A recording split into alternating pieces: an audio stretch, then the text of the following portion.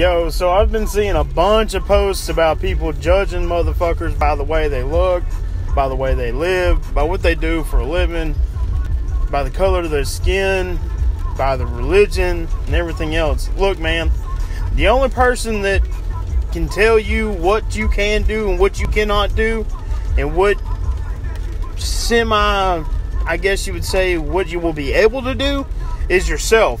Uh, all these nobodies that are out here judging folks and telling people what they can and can't do, other than the government, of course. Man, the society society sucks. You gotta brush some stupid ass people off and uh, move on. You can't listen to them. You can't keep listening to them because I'll let you know right now, society sucks asshole.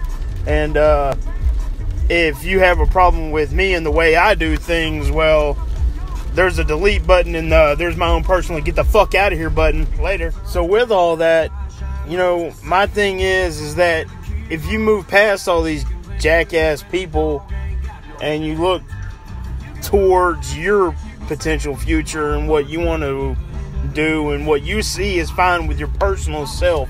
You have to have self love before you can love anything else or before you can have any kind of passion for anybody or anything else.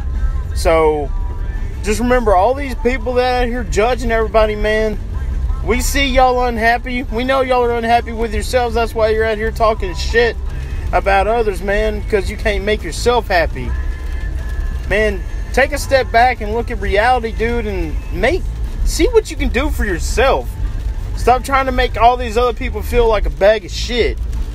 We already have enough hate in this world. We don't need no more with your little clown ass over here talking smack. So, fix yourself. And if you're acting like a little shit just because you want some attention or you want some sympathy, I can tell you where you can get that. You can find it in the dictionary between shit and syphilis. Um, a wise man told me that a long time ago, aka my grandfather. Um, and man, I've I've I've stood by that since day one. Uh, the only person that can pick yourself up and push yourself towards greatness and to be positive towards you is not everybody else. It's actually yourself.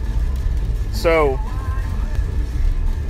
again, man, stop letting all these jackass people, all these nobodies tell you what you're worth, tell you what you are, tell you what you can and can't do. Because the only person in the fucking end that can is yourself. Later.